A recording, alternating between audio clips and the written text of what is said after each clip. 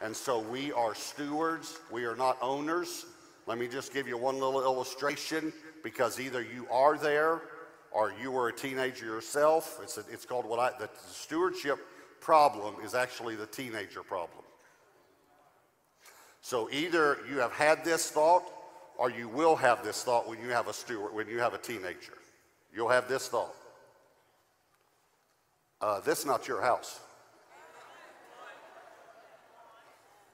And then you'll say something that your parents said to you. As long as you're living in my house, you're going to live by my rules. Is that right? Okay. So I'm wondering if God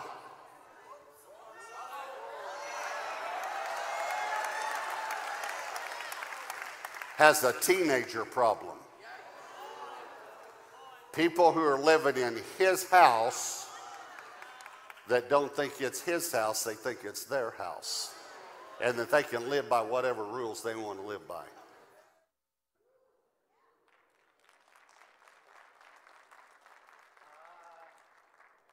How y'all doing? You got me today. Uh huh. Buckle your seatbelt. Those of you that are online, you forgot it's time change. You better be watching. Get on Facebook and post this thing. Tell them, listen to it. It's really important stuff. I like that guy right there. He's mentored by the same guy that spent four weeks mentoring me, Jack Hayford. That's the pastor at Gateway. They got several campuses, a very huge church in Dallas. And I love that. I thought, well, I should just say what he said there. I thought, no, I can't say it as good as, as Robert Morris said it. That was a pretty good little thing, wasn't it? You know, I like that, didn't you? Okay, so I'm to talk about money. Don't, where are you going? Okay, don't, don't, don't turn me off here. Listen, Jesus had a lot to say about money in this red letter edition, a lot about money, a lot about hell, and that's the number one thing people don't want to hear about. But the point of money isn't about giving or raising money. That's not my point. It's about your heart. About your heart, about my heart, our hearts, right?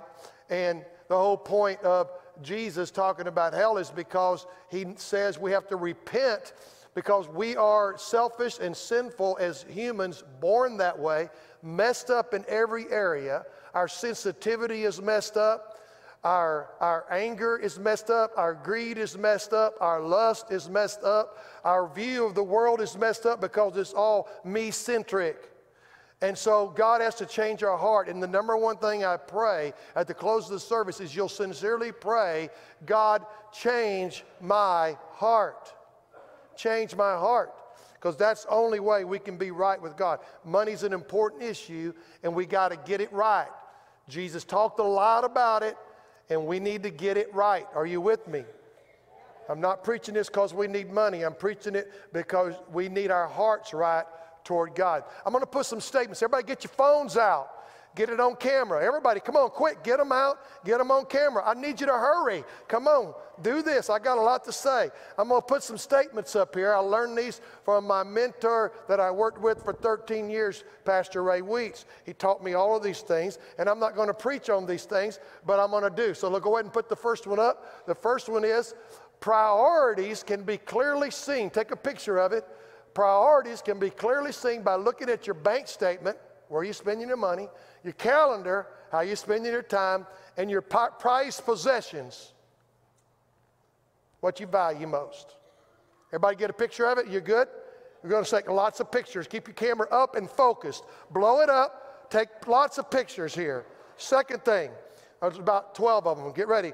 Live within your means and live below your means, if at all possible. Next one. Don't loan what you can't afford to lose. You get bitter. Don't do it. The Bible even talks about this, important principle. Okay, what's next? Pay God's tithe. We give offerings, we pay the tithe because the tithe belongs to the Lord. Give systematically.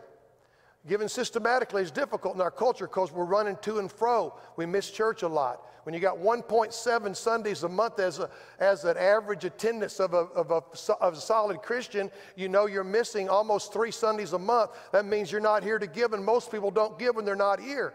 So I have friends that tell me, and my, some of my family do this. They set it up online on the online giving. And they transfer from their checking account to the church checking account. It costs 30 cents. If you use a credit card, it costs 3% or 4%. I don't even know.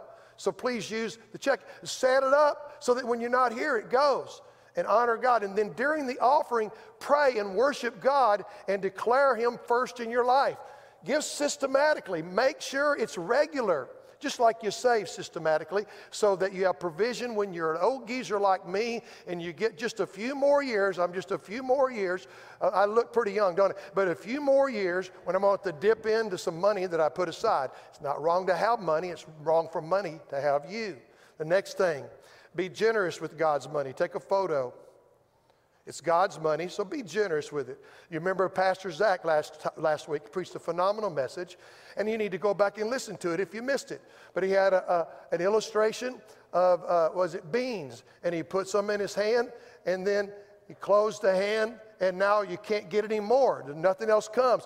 But God's blessing is meant to flow through us. So what you receive, release. You receive, release, so that more and more can come. You receive and release because He's using you as a vessel of love, of truth, and a blessing.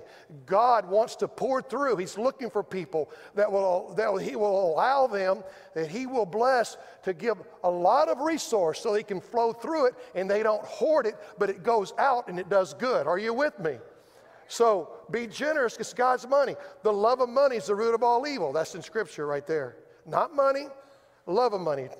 You got your cameras up? Don't worry about being annoying. Get your cameras up there and take it. Here's a good one people find money for what is important to them. If it's important, you're going to find the money, right? People, Some, Pastor Weeks would say to me, he said, People got money, James. That's not the problem. They don't give because it's not important. They just they got money for everything else they want. Next one, don't live today on tomorrow's money. It's going to cost you a lot. Don't live today on tomorrow's money. Here's the next one. Don't make as much money as you can. Otherwise, you'll be working when you should be doing something more important. Right? Don't make as much money as you can, otherwise, you'll be working when you should be doing something more important. It's not okay to make all the money you can. Here's the next one don't swipe a credit card unless you already have the money to pay for what you're buying. Credit cards should never be used to borrow money. If you don't have the money, don't get it. Now, I understand sometimes you get backed up into a wall, and that might be exceptions because you're actually using it to borrow some money, but be careful with that. You want to borrow money, hopefully get some good credit and then borrow at a better rate than 18% or whatever those credit cards are. Next thing, only use credit cards for convenience and bookkeeping records and rewards. I like mile reward miles, right? But if you pay it off, you're not paying interest. It doesn't cost you anything. It gives you a good bookkeeping. It's convenient, and but you need to pay off your credit cards completely every month. Take a picture of that. Some of you credit card people. Yeah, don't laugh, just do it. It might hurt. Take a photo and read it and put it up on your mirror. This one Pastor Zach covered, but it's got to be said again love people, not money. Use money, love people, right? Love people and use money. And, that, and then the last one is don't keep score. Listen, this is Christians like these are super spiritual Christians that everything they do, they want something back for it. Well, I'm, you know, I've tried to be their friend. Nobody will be a friend back. Baloney. People are people everywhere you go. Just keep doing it. You're looking at it backwards. If you're being a friend and going, they won't be a friend back, who cares if they're a friend back? Just keep being a friend. It didn't ask, it didn't ask you what you're going to get back from anything. Just do it. Don't keep score, including with your friends. Give without strings attached. If you treat someone, don't expect that they're going to treat you back. And then I've got two that you want to write down that are not up there. They're so obvious, and I've said them so many times. Most of you are to be able to complete my sentence. Let's just see who can. It's not equal giving that matters, but equal what? Sacrifice, not equal giving that matters, but equal sacrifice. And the second one, live for the things that money can't buy and the things that death can't take away. Eternal things. Money can't buy it, and if you die, it doesn't go away. Pastor Zach read in Matthew 6, it's Jesus' Sermon on the Mount, the words of Jesus lay up treasures in heaven where moth and rust don't come in and destroy, where thieves can't break in and steal. Send your treasures to heaven, do something good, bless people, use that money as a spiritual means, right? Now I'm going to read a couple of passages, and I'm not really going to preach from them, but I'll later refer back to them. And the first passage I'm going to read is about about the law because a lot of people go, Well, you, Pastor, you're going to preach on tithing. That's legalistic, that's law. Yeah, it's the law, right? But so is thou shalt not commit adultery. And Jesus, in the same passage I'm about to read later, says, I, you, You've heard it said, don't commit adultery. I say, don't lust in your heart. Another one, he says, Hey, uh, you've heard it said, the law says, don't kill. And I say, don't hate without a cause. Don't hate. You know, malice is you're so angry, you're so bitter, you're so hurt, you want bad stuff, and you rejoice if something bad happens to somebody because you hate them. This is an issue of the heart, right? And giving is an issue of the heart.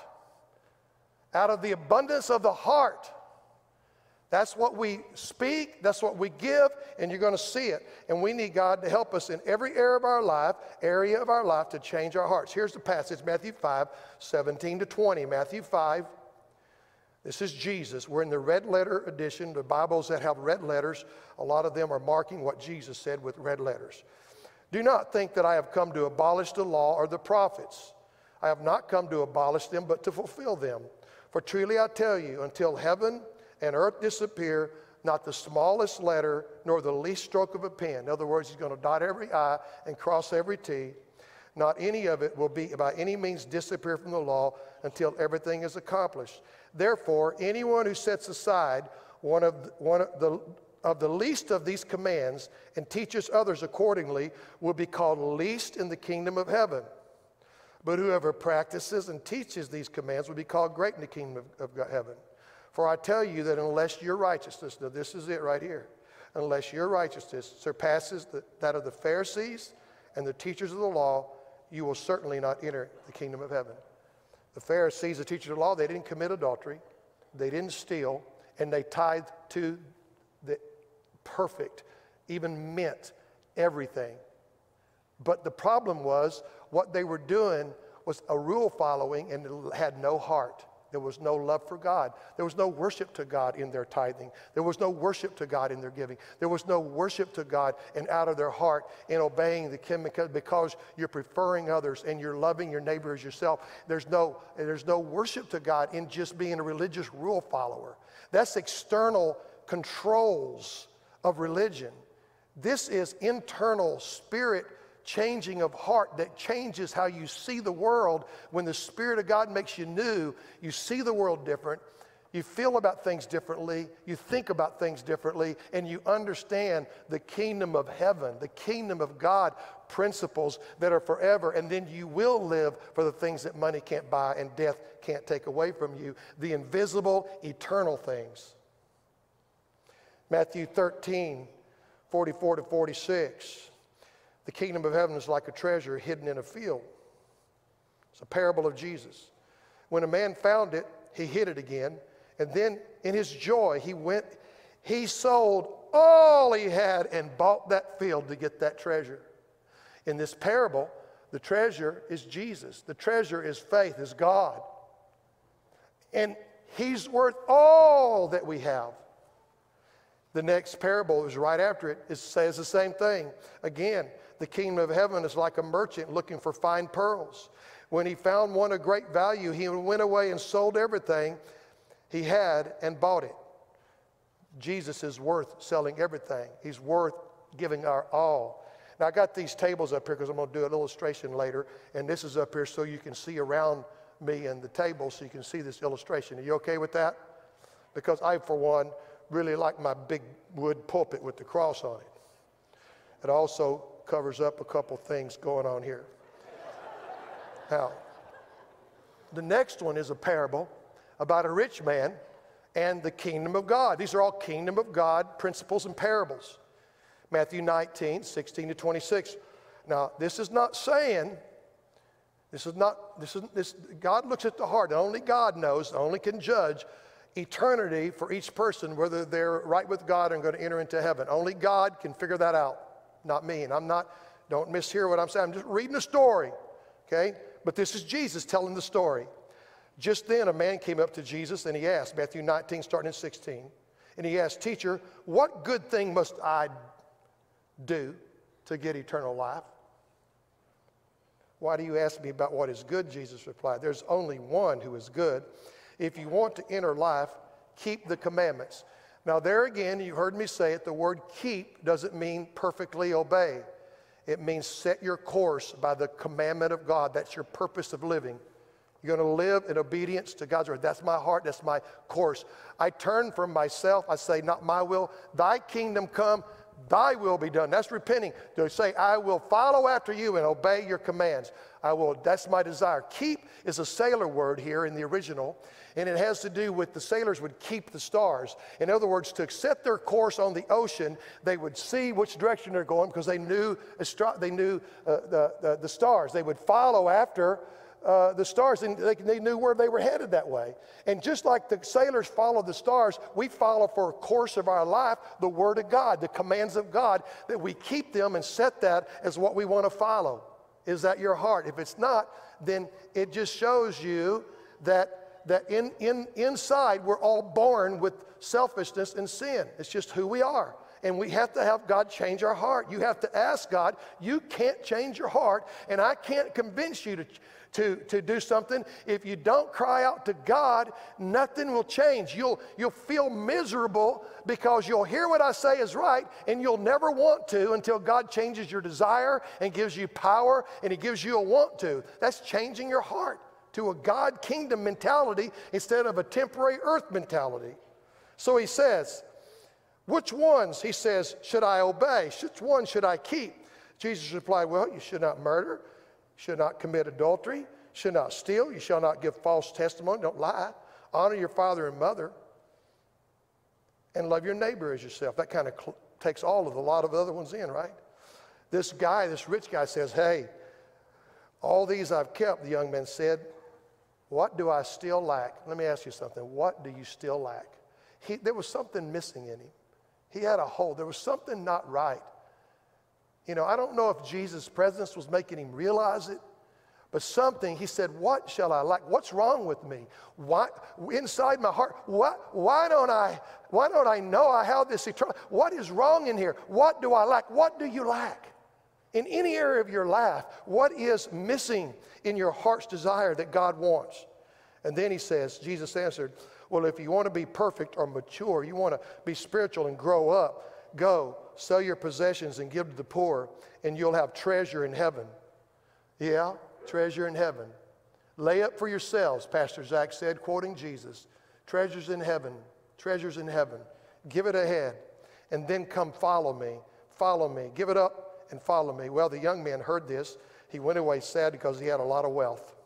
And then Jesus said to his disciples, Truly I tell you, it is hard for someone who is rich to enter the kingdom of heaven. Again, I tell you, it's easier for a camel to go through the eye of a needle than for someone who is rich to enter the kingdom of God.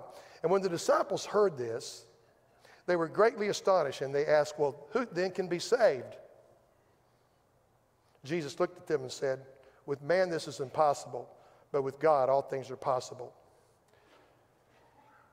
You see, we have to be right about money. God's going to challenge our heart. We have to be right about money because money is temporary it feeds flesh. Jesus talks a lot about money.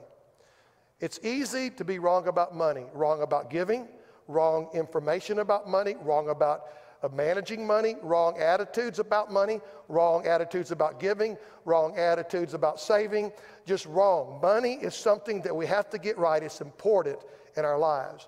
Now, for those of you that haven't been here long, when I started the church, and you can ask Dale's one of our deacons. He and Madeline came with me, and there's Mike and Roxanne, a few, and they know we established we're going to fix it. We're the keeping of the records. The pastors can't see, no one's looking at. We have right now seven teams of individuals that count seven weeks. You give on week two, week three doesn't know what you're giving. There's no way someone can know you're not giving or you're whole giving a whatever's going on. I don't know, so I'm doing this with a clear conscience. You got that?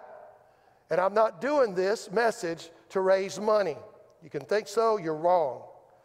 And I don't want to know because it doesn't help me. However, let me hear this God knows what you give and don't give, and He cares. He's made it plain, doesn't He? He's care. And you, we need to pray, God. It's a big deal. We need to change, ask God to change our heart in every way, have God's heart. Statistics show that 30% of, of true evangelical Christians tithe, 30%. Three out of 10. That simply, tithe means one tenth, give one tenth. And uh, some of you, maybe you're new to the faith, you're new to church, you don't know anything about what God says about giving or money or stewardship. And I pray that you don't just hear from me this morning, but you hear from God through the Word. Some of you are very sad when I bring up tithing or giving because your spouse, spouse, your spouse won't let you tithe. Spouse. That's old man for spouse, spouse. Your spouse won't let you tithe. You want to, but it's a big problem. Some of you are afraid to tithe because you've never done it before and you don't think you can make ends meet if you give one tenth. How you do that?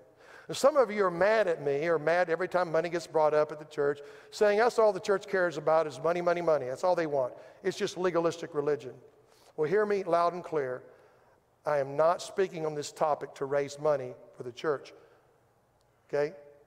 The church is financially strong, gone up in giving every year.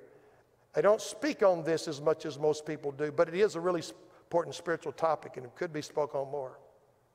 I'm speaking on this because, listen to me, it has to do with your heart and my heart. It's a heart issue. Money and giving, greed, it's all a heart issue. The rich young ruler that walked away from Jesus said had a heart problem. Jesus said you can't serve both God and money. Same chapter, Pastor Zach again, hit it out of the park. Can't serve both. You serve the one another. That same passage talks about trusting God for our provision. The birds, they're provided for. The lilies, they're clothed.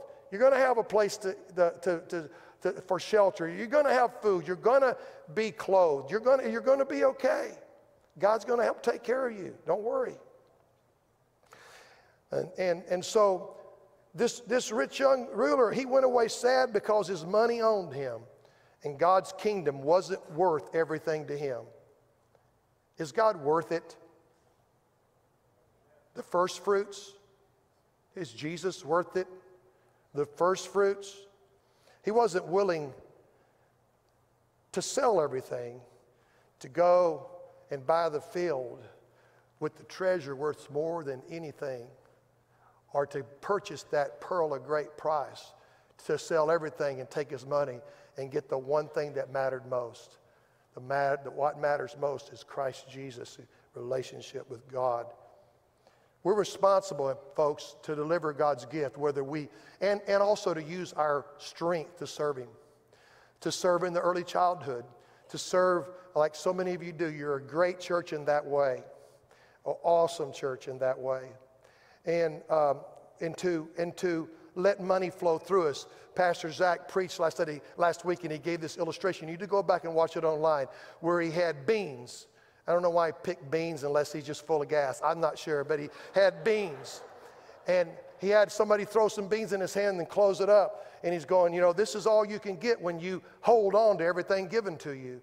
But if you'll receive from God and then let it go, He'll pour more in, and then let it go, and He pours more, and then you let it go. He wants to use you as a channel to flow through you. He's looking for people that He can bless to be givers. There's the gift of giving. Did you know that? And that you have faith, and that you're you're not greedy, and you're okay with taking risks to build something big to make more money, so the money can flow through you to a world needing Jesus. Are you with me?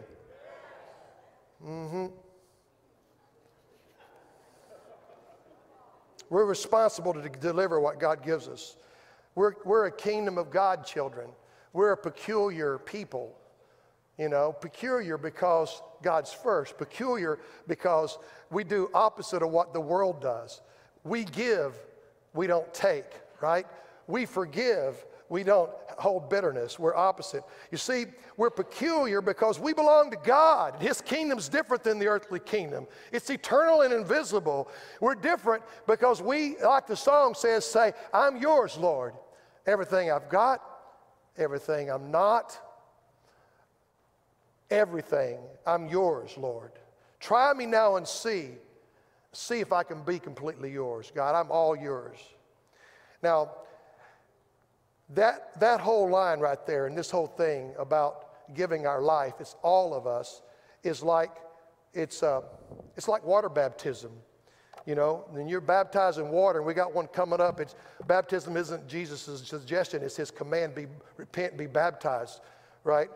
He was baptized.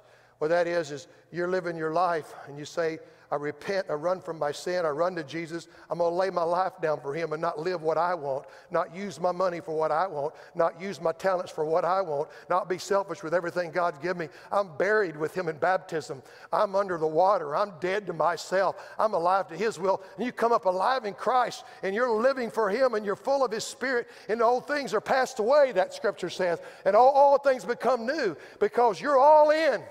You're all in, right? You step in. It's not just a part of you, it's all of you you give to God. You're all in the bucket. You're just all the way.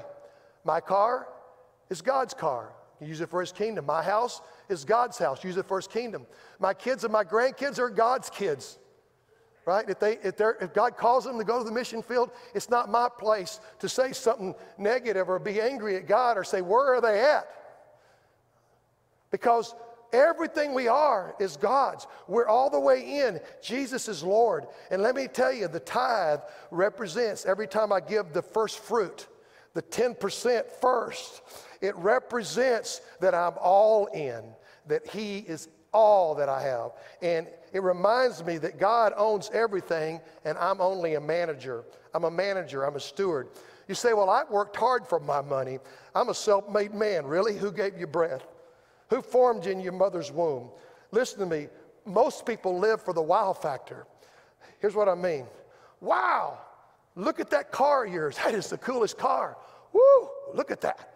They live for the wow factor. Wow, look at that house of yours. Woo, that is a beauty. Look how, that is amazing. Look at those clothes. Look at you. Look, woo, man, look at those high heels. Woo, woo. Look at that funny looking hair, Pastor Luke. That's looking hot, hot, hot, hot. Wow, look at that guy. Wow.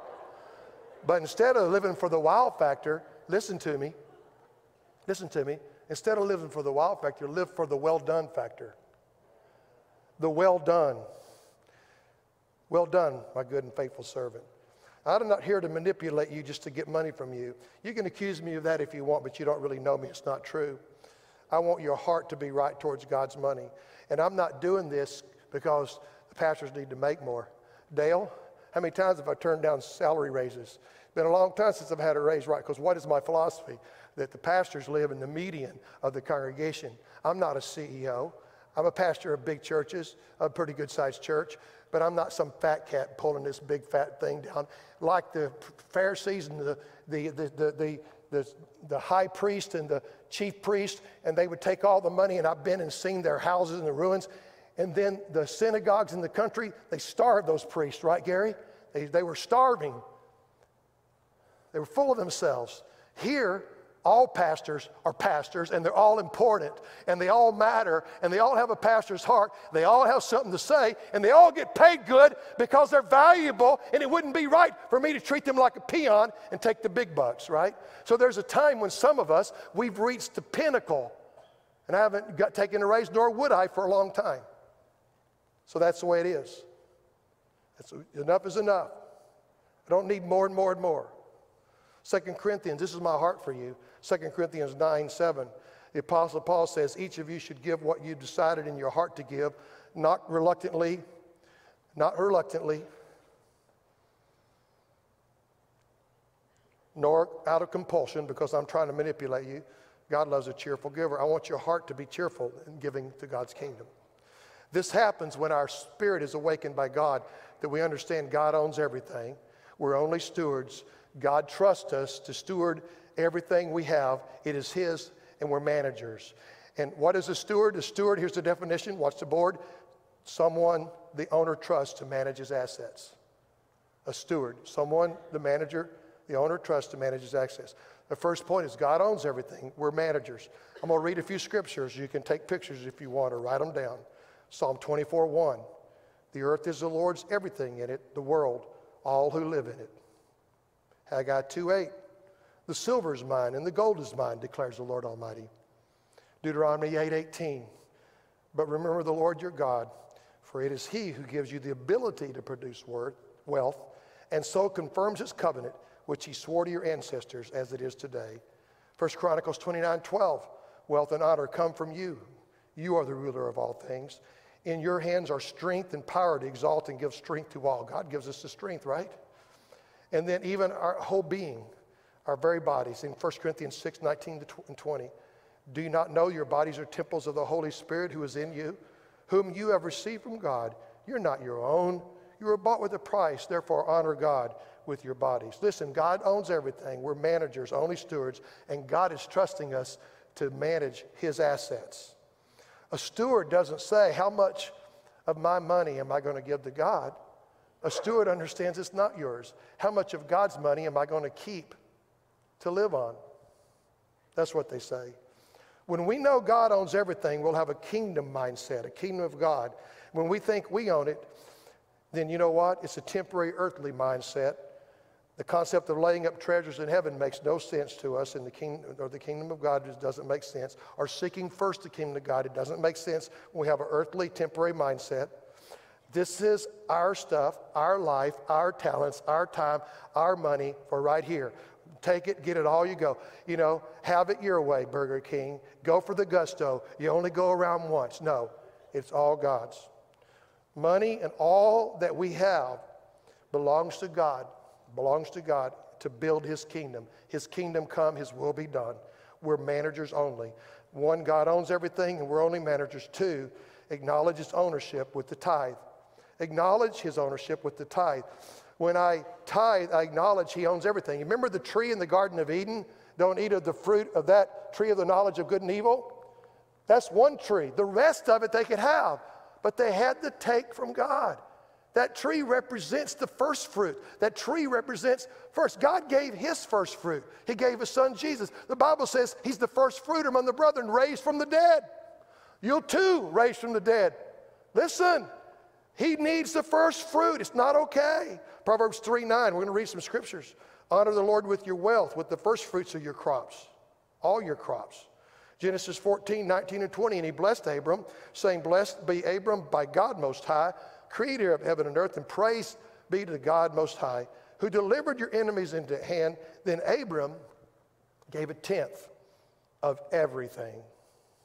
Leviticus 27 30, a tithe of everything from the land, where the grain from the soil or fruit from the trees belongs to the Lord. It is holy to the Lord.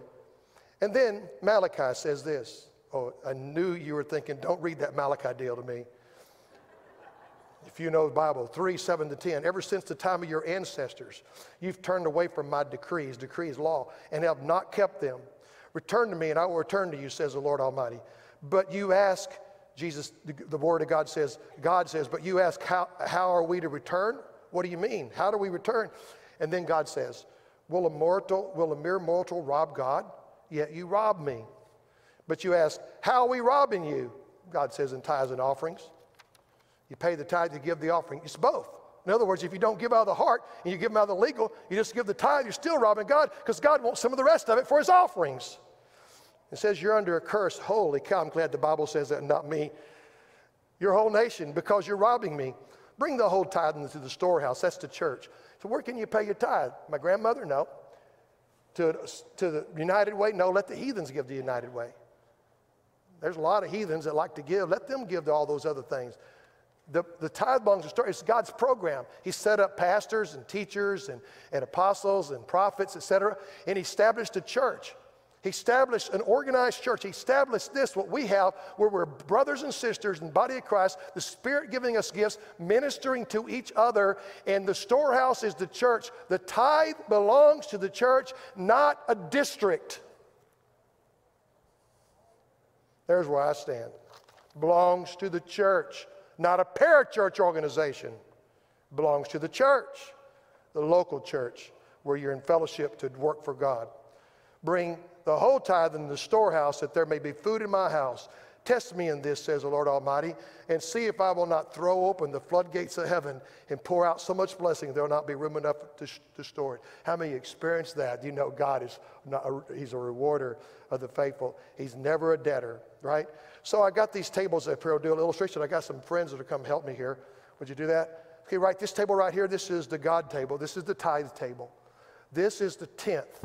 This table is going to be our table, the 90% right here, the 90%, okay? And so this belongs to God. This is, belongs to the Lord. All right? And I just want you to visualize this. Pastor Jeff, are you going to help me? Where'd you go? There he is. How's your pancreas, bro? How's your pancreas? Is that bothering you to carry that? You're doing good? All right. Okay. Yep. I'm doing good. Yep. That's good. You know what you're doing, don't you? That's good. That's water. You know what this water is, guys? This is one step water. This is why everybody should shop at Hy-Vee and only Hy-Vee. You know why? Because they give all their profits from their one step products for water around the world. Through our Africa ACES, a part of the Assemblies of God, they bless through our program 200,000 from the profits from this water. All right? And you know what? There's other one step products. This is one step potatoes. All the proceeds from one step potatoes right here go to feed the world. Right? And the cereal that's about to come out is one step cereal, and all the profits go to feed the world. Now, what other grocery store does that? None of them. And when I was buying it this morning before the crows were awake, I want to tell you that the, even the employees in the store didn't know that their company did that. So let the whole world hear shop at Hy-Vee.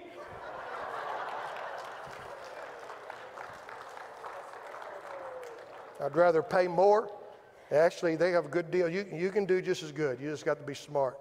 But anyway, here, here we go. We bring it all the first. Listen, it's a step of faith to start tithing, right? So is it okay? Perhaps you say, well, can I do half a tithe? Well, nowhere, nowhere does it say, just give me half of your life. You want to give half a tithe, 50, you know, 5%?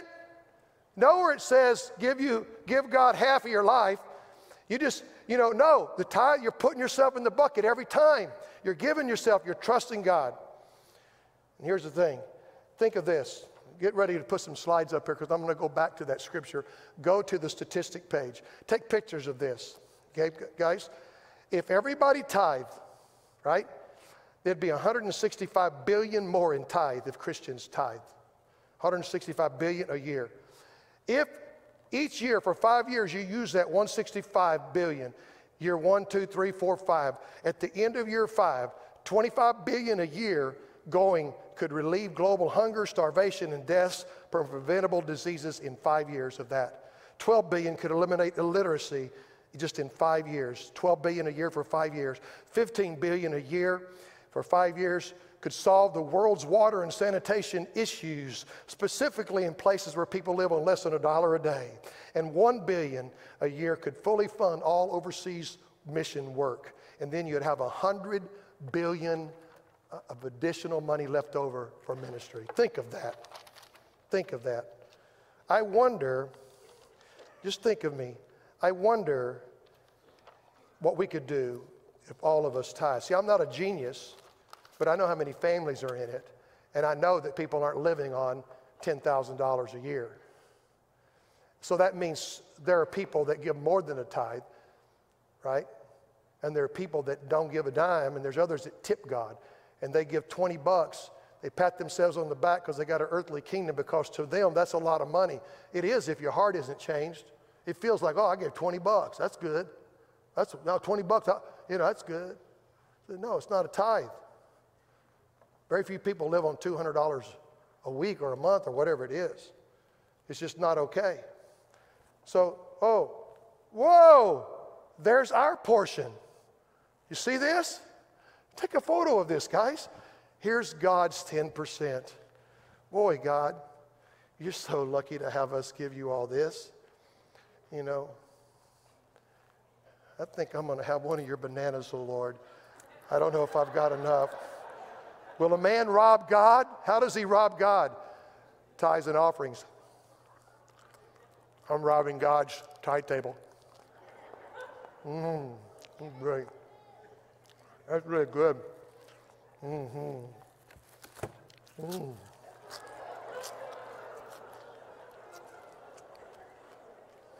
Mm.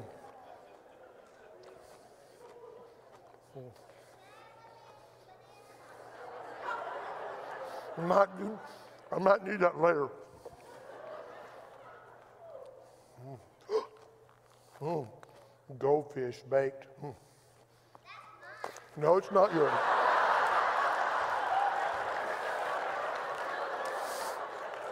She said, That's mine. Do you want it? Do you want it from this table or this table? This table. Pray for her, will you? Pray for me, but don't we do this right here? Don't we do this? Enough is never enough. Bigger is always better. Live it up. More and more. The more we get, the more we spend. Don't have enough for God's little tithe, you know. Wait a minute, I got an idea.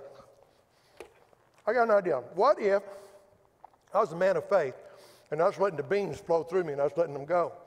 And I continue to do that and God blesses me and I start making $200,000. You're not supposed to talk with food in your mouth, are you? My wife hates that.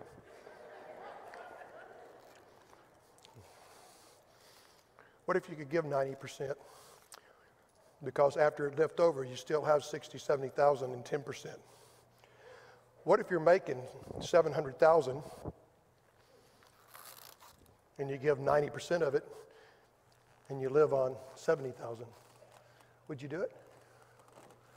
Good question, isn't it? Or what if you take a look at this photo here, you take this picture, and you go, you know, there's starving people. Let me give the benevolence. God, here's some more. I don't want to just give you the 10%. Let me give you some benevolence money. And hey, you know what? Let's give some money to missions. Let's help our missionaries and let's give them because they need to do the work of God so souls will be saved. So that when I get to heaven, my, my, my fruit doesn't rot and my wealth doesn't rot. I lay treasures up in heaven. And if I give more and more and more and more, then will God increase so that I can give more and more and more. Are you seeing the picture? Where's our heart? We look at it this way. Pretty convicting, isn't it? I tell you what, I don't ever want to eat a celery and banana together again. That's really, it's really strange.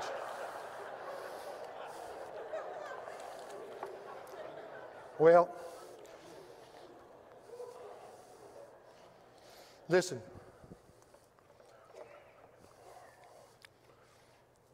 Can we use all the money that comes through here for ministry? Are you kidding me? Of course we can. But is that why I preach it? No. I preach it because if your heart isn't right in this area, you got a real serious problem. And you need to pray, God, change my heart on this. Because if you don't start here, you don't open the windows of heaven of blessing. You bow your head, musicians. Say, Jesus, change my heart. Help me see things the way you see them, God. I, I want to see my own possessions the way you see them. I'm a, I'm a manager of all that's yours. So I want to do a good job managing what you left for me, what you give me, flow through me. Lord, I want to. Uh, I want you to enrich and fill up my barns so that I can pass it off and pass it off. And the more I get, the more I can give. Yeah. I thank you, Lord, that because I've been diligent not to pay interest and not get credit card debt, been diligent to, in a lot of ways. My house is paid for. I thank you, Lord, I can give way more than a 10%. I thank you that my wife is supportive And it's always been not only at the drop of a hat. I say, Can we give 10,000 this? She says, Yes. And she's willing to tithe. I'm thinking both of my children tithe faithfully. And they know that blessing, and I've seen the blessing. They married people way better than they ever should have ever gotten. you know, that's a humorous prayer, but it's true. Because I believe you honor the heart of a person that puts you first. We want to put you first in everything, in all of our substance. And for that person that you may not sure you're going to heaven, pray this prayer Jesus, forgive my sins. Change my heart. Come into my heart. Change my heart. I turn from sin. I repent and I run toward you to follow you and obey you, to keep your commands. Keep your commands. Like the rich young ruler, Jesus told the rich to keep your commands, to be serious about following you in obedience. Thank you, Lord. And I want to follow after you. Teach me your ways. May my life be all in the bucket. And may I honor you in all that I have. Not just money, but time. Not just, not just with my talents, but just with my sweat. To work, to serve in the nursery. It's okay. It's hard, but it's good to give myself to serve. Thank you, Jesus. Your people are great people. I'm glad that I can look out th- this audience and not know one person that doesn't tithe. I don't know anybody in this place that doesn't tithe. As far as I know, they all do. The math doesn't work out that way. But listen, God, I, I preach this with a clear conscience. And I believe it's why the Holy Spirit, when I was fasting, Father God gave me that thought.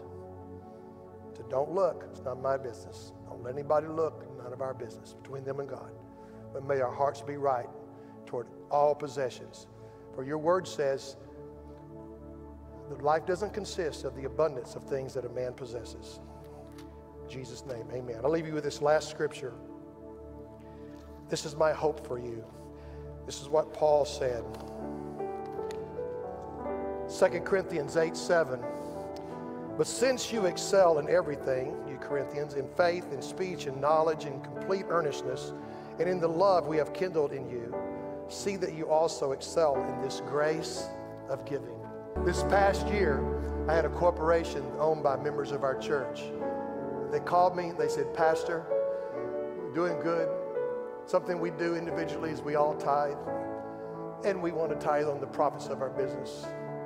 And they forthwith handed me a check for $120,000 on a $1.2 million profit. And you know what I'm praying? Lord, make, let them make $100 million. Amen? Why not? Why not? God can trust them with riches. Amen. And I, I know them well enough to know they don't just give to the penny of the tithe and brag about it like some religious hypocrites, and you'll never know who it is because I won't tell you, so don't even ask me. But just let me tell you something. Their heart is to give beyond that. They're generous people. Rich people sometimes are the most generous people. That's why they're rich. Abraham was rich, right? Father of our faith. Shake a leg. What's that song? Father Abraham has many sons. Many sons have Father Abraham. I am one of them, and so we. So let's just praise the Lord. Right hand, Abraham. Left arm, right foot, left foot, all of me, everything in the bucket. Let's go home. Bye. I've said it all.